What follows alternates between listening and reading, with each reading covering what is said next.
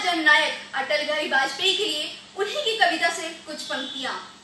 मौत से ठंड गई, जूझने का मेरा इरादा ना था। मोड़ पे मिलेंगे, इसका कोई वादा ना था।